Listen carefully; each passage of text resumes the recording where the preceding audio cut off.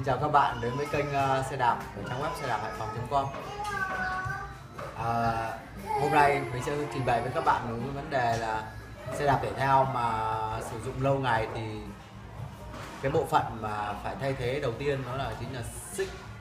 Sau một thời gian uh, đi mà sử dụng uh, lâu dài khoảng uh, 1 đến 2 năm chúng ta phải thay thế xích.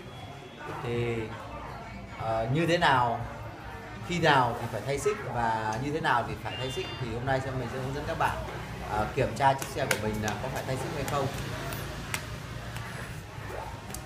Thì đây như như à, mình đang có cho ở đây là một cái chiếc xe cần phải thay thế xích. Thì làm thế nào để nhìn qua sơ bộ thì để biết được à, cái xe phải thay thế xích. Thì uh, các bạn các bạn uh, các bạn kiểm tra cái cái cái cái cái chỗ xích nó ôm vào đĩa đây, các bạn. Các bạn nhìn thấy là cái xích nó sẽ thừa ra rất là nhiều. Đó. Các bạn nhìn trên tay rồi đấy.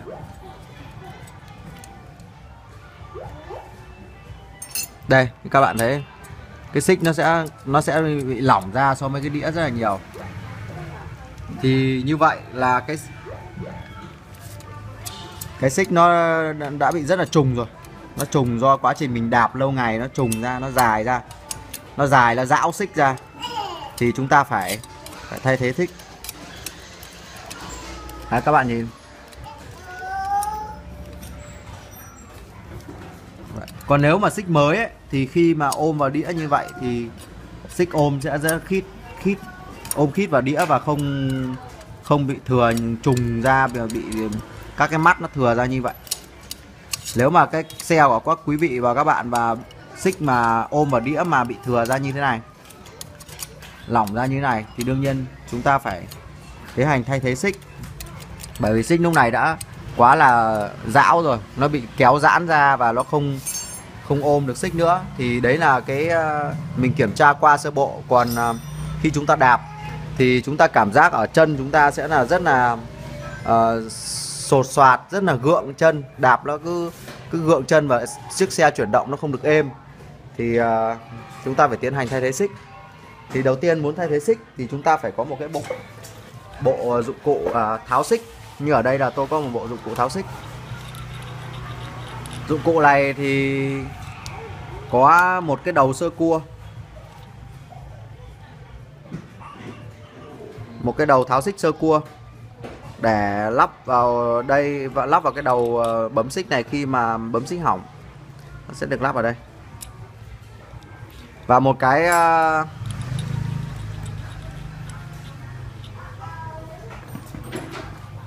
một cái thanh sắt như này. Cách lấy ra thì chúng ta chỉ cần chú ý lấy bình tĩnh ra là được thôi cái thanh sắt này. Đó. Cái thanh sắt này là để làm gì? Để chúng ta móc vào xích chúng ta móc vào xích để chúng ta thao tác xích không bị uh, dễ dàng. Thao tích thác, uh, cắt xích dễ dàng hơn. Đấy.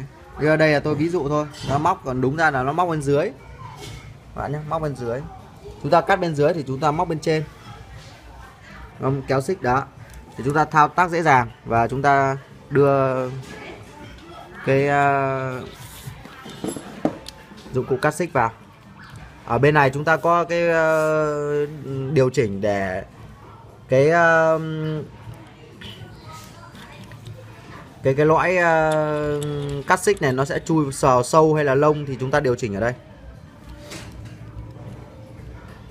Đấy, xích dày hay mỏng chúng ta cũng điều chỉnh ở đây.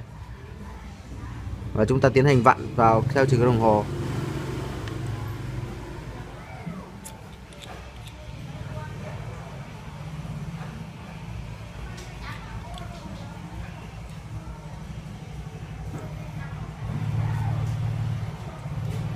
Đó chúng ta tiến hành vặn vào theo chiều đồng hồ.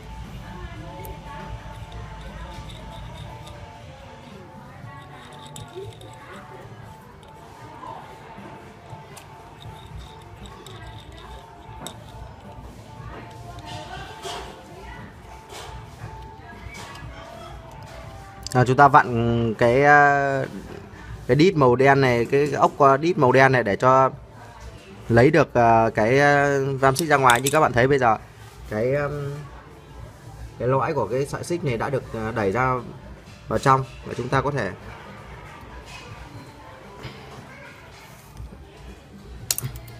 lấy xích ra một cách dễ dàng. Và như vậy là chúng ta sẽ tháo xích ra.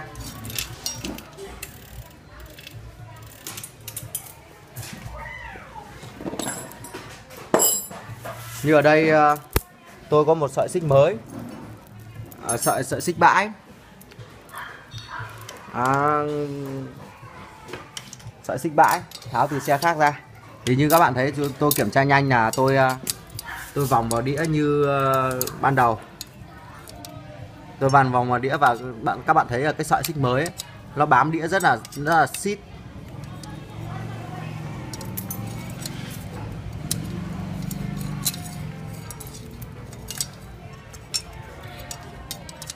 Đấy các bạn thấy sợi xích mới là bám đĩa rất là xít nó không tạo ra uh, nhiều cái khoảng trống.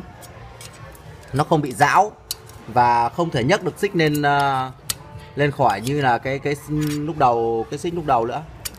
Đó. thì đây là cái xích mà chúng ta sẽ thay thế vào thì chiếc xe đi rất là êm.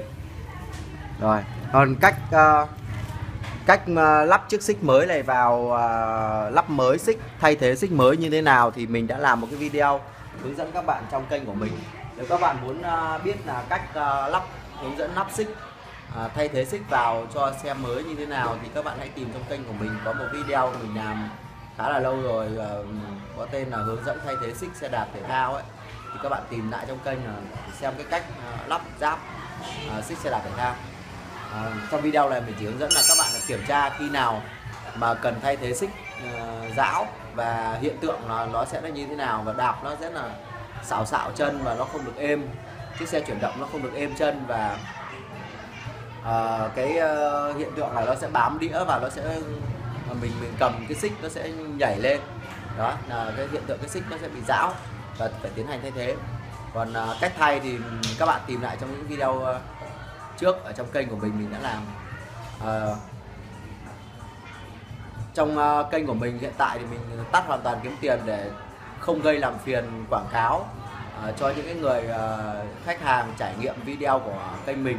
Nên là các bạn hãy ủng hộ mình bằng cách uh, ấn like video để ủng hộ các chúng mình uh, làm những cái video tiếp theo và ấn đăng ký kênh. Bên cạnh đó ấn chiếc chuông để nhận những cái thông báo mới nhất từ YouTube nhé. Xin cảm ơn các bạn đã xem video.